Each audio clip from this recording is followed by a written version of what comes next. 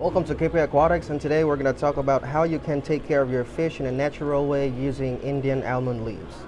If you're still new here, click on the subscribe and the notification bell to see more of these videos every week.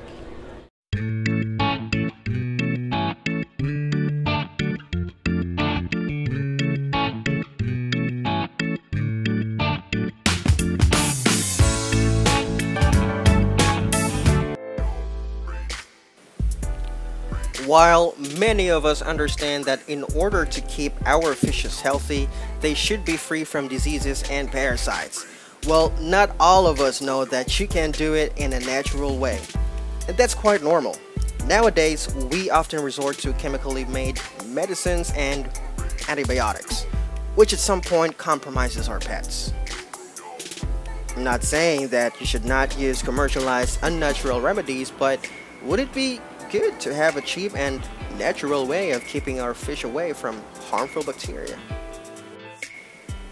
This is the Indian almond leaves. Indian almond leaves refer to the dried leaves of Terminalia catappa tree. It's a tree that is native to East and Southeast Asia and has been used in traditional medicine for centuries.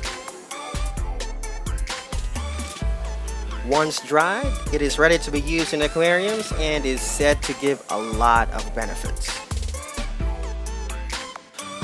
When added to the aquarium, the leaf will eventually break down, releasing tannic acid and tannins into your aquarium.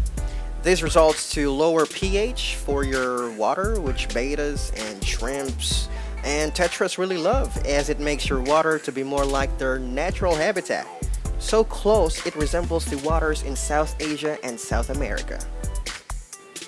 Studies also show that Indian almond leaves also decreases water hardness which would be beneficial to those who use hard water in their aquariums.